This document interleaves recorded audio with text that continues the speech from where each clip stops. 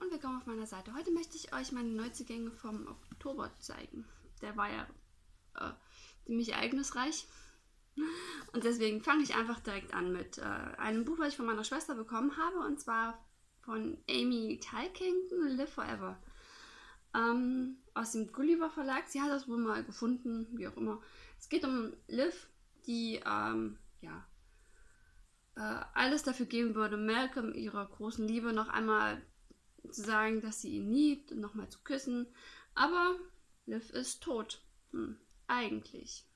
Ich bin gespannt. Das klingt echt gut. Das, das Cover habe ich schon oft ähm, auf Instagram gesehen. Dann war ja die Frankfurter Buchmesse und da habe ich ja auch ein bisschen zugeschlagen. Und deswegen kommen jetzt die Bücher von der Frankfurter Buchmesse, die ich mir gekauft habe. Als erstes ähm, zeige ich euch von Nadine Voss Same Love, nur mit dir aus dem Sternensand Verlag. Das Buch kostet oder hat irgendwas bei 14,95 Euro, glaube ich, gekostet. Ähm, es geht um die 17-jährige Sam, die eigentlich einen Freund hat, aber nicht so wirklich glücklich ist, sich, naja, hm, nicht so vollständig fühlt. Dann taucht auf einmal die Schülerin Romy auf und ähm, ja, bei Sam verändert sich ein bisschen was. Es ist der erste Teil und ich bin wirklich gespannt darüber. Es ist eine Geschichte über ein Coming Out und die ganz große Liebe. Ja, ähm, das Buch hat etwas über 460 Seiten. Ähm, ich bin immer noch, ich muss immer noch Bloody Mary von Nadine Ross lesen. Das nehme ich mir jetzt im Oktober vor, wenn ich es schaffe. Ähm, aber ich bin gespannt. Ich hoffe, es ist nicht so kitschig. Aber so ähm, Bücher über gleichgeschlechtliche Liebe äh, finde ich eigentlich ganz interessant. Wie gesagt, wenn das nicht ähm, zu klischeehaft dargestellt wird. Aber das ist ja bei den Heteros auch so. Das ist oft sehr hm, kitschig. So, geht's weiter. Es geht weiter mit Aschenputtel und die Erbsenphobie aus dem Drachenmond Verlag von der lieben Nina McKay. Das ist der zweite Teil. Und ähm, ja, alle Happy Ends sind in Gefahr. Im ersten Teil waren die alle verschwunden, jetzt sind die Happy Ends in Gefahr. Spieglein möchte, dass wir ihn ab sofort Whistleblower nennen. Unterbricht Rose meine Gedanken. Schon gehört? Es, ähm, ja, der erste Teil hat mich wahnsinnig zum Lachen gebracht und ich bin gespannt, wie dieser Teil ist. Ähm, ja, auf Instagram habe ich schon gesehen, dass es viele wirklich unfassbar auch wieder zum Lachen bringen konnte. Und ähm, ja, mal schauen, wann ich es lese, wann ich einen Lachflash brauche. Ich bin gespannt. So, als nächstes Regina Meissner, äh, ebenfalls aus dem Sternensand Verlag.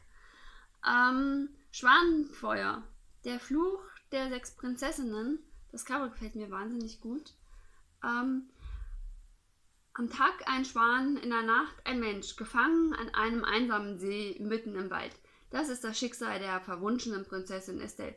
Es erscheint ihr aussichtslos, den Fluch zu brechen. Der Sinn der rätselhaften Worte auf einem geheimnisvollen Pergament, das der einzige Schlüssel ist, bleibt ihr verborgen. Erst als der junge Jäger Aiden am Schwanensee auftaucht, erhält sie neue Hoffnung. Und so weiter und so fort. Ich bin echt gespannt. Das Klingt sehr süß, sehr schön. Ähm, ich mag Regina Meisner, schreibt sie sehr gerne. Und ähm, ja, es ist scheinbar auch der erste Teil. Genau.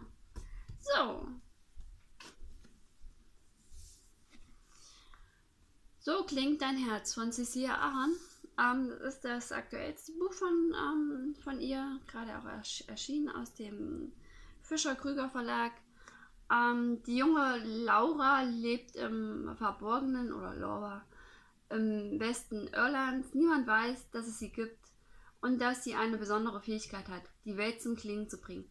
Als der Toningenieur Solomon im Wald auf Lara trifft, für, auf Laura trifft, fühlt er sich sofort magisch von ihr angezogen. Doch auch Solomons Lebensgefährtin, die Regisseurin Bo, ist fasziniert. Sie möchte einen Film über die geheimnisvolle Laura drehen.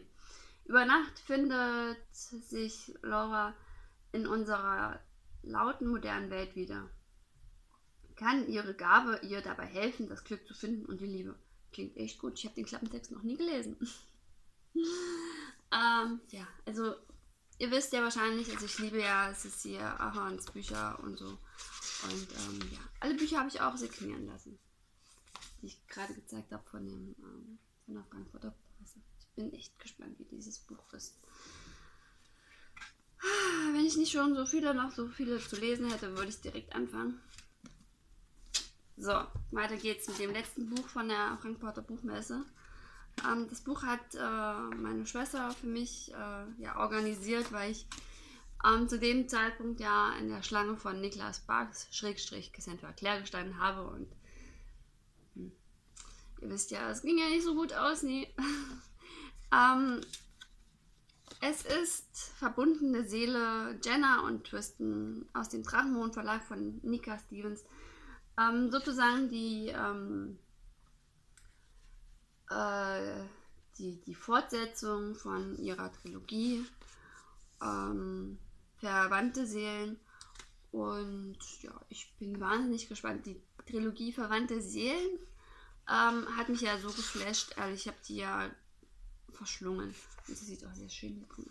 Ich liebe es, wenn in Büchern ähm, noch so kleine Verzierungen sind. Das finde ich so toll. Das ist echt schön. Aber das kriegen leider nur so Verlage richtig hin. Hm, oder man hat einen Grafikdesigner oder so. Aber hm, sehr, sehr schön. Und ähm, ja, ich bin wirklich gespannt auf diese Geschichte. Wie gesagt, ähm, verwandte Seelen habe ich ja gefressen, sozusagen.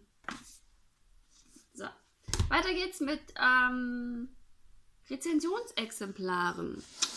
So, kommen wir zuerst einmal zu ähm, dem von Lily Oliver. Träume, die ich und stehle, habe ich euch bereits in meinem äh, Lesemonat schon vorgestellt und auch als extra Einzelrezension gezeigt.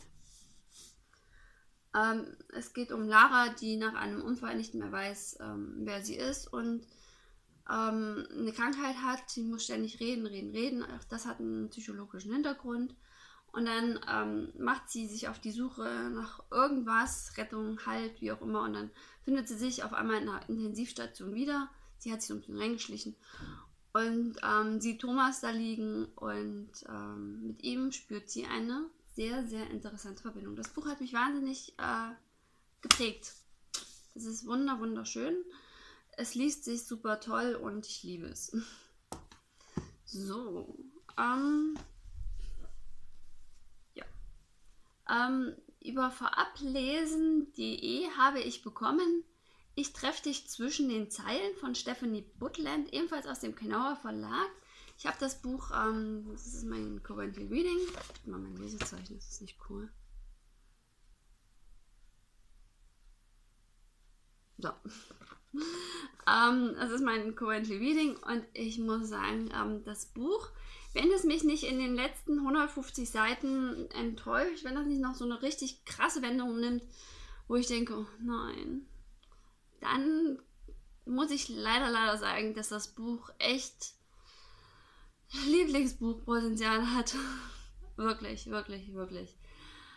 Es ist so unfassbar toll. Ähm, Love, es, es wird aus der Sicht von Loveday erzählt. Und ähm, ich finde, Loveday ist ein so faszinierender Mensch. Aber ich erzähle ich euch dann in meiner Einzelrezension dazu.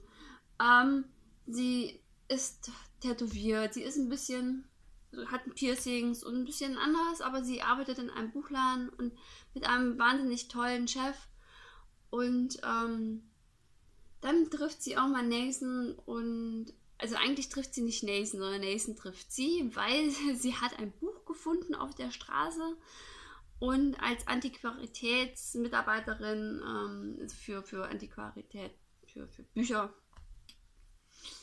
ähm, da äh, ja, ähm, hat sie das Buch nicht in den Müll geworfen, sondern hat es mitgenommen und ausgehängt und dann kam am nächsten rein und dann, ähm, ja, man lernt so ähm, beide Seiten so ein bisschen kennen, aber ganz viel auch von ähm, Loveday und ich finde das so interessant, diese ganze Geschichte.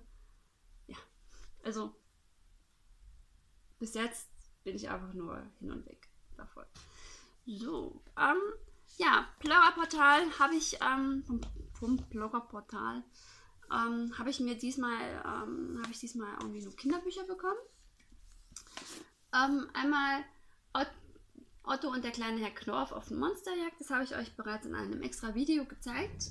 Oh, du dreimal ungewaschene Stinkesocke. Das ist ein schönes Halloween-Buch. Mein Sohn, ja, ich glaube, momentan liest er es äh, irgendwie mit, mit dem Papa, also mit meinem Mann, ähm, noch. Und äh, ja, zum fünften, tausendsten Mal schon, ne? Von Andrea Schomburg und Stefanie Reich. So, dann ähm, habe ich noch bekommen ähm, DC Superhero Girls Katana auf der Super High, Superhero High von Lisa G. Es ist der aktuellste Band. Das ist, es gibt ein, bis jetzt sind vier Teile rausgekommen.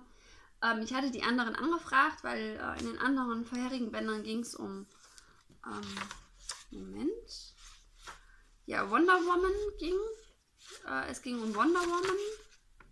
Dann Supergirl und Batgirl. Und da ich ähm, Supergirl und also ja Supergirl total toll finde und Batman, Batgirl auch toll, ähm, habe ich die angefragt, aber die gab es nicht mehr. Also hatte ich das hier, ja, wollte ich das dann haben. Und bis jetzt finde ich es eigentlich ganz gut. Ähm, ich lese es mit meinem Sohn zusammen. Er schläft immer sehr schnell dabei ein, weil es auch hilfreich ist. Also ein Kapitel pro Abend reicht. So. Ähm, ja, außerdem neu gekauft ähm, von Zack, äh, Heroes, Miraculous, die geheime Superheldin, habe ich euch ebenfalls in meinem Lesemonat schon vorgestellt von Miraculous. So. Ähm, was ich aber auch bekommen habe im Oktober, waren, war was ganz, ganz mega cooles.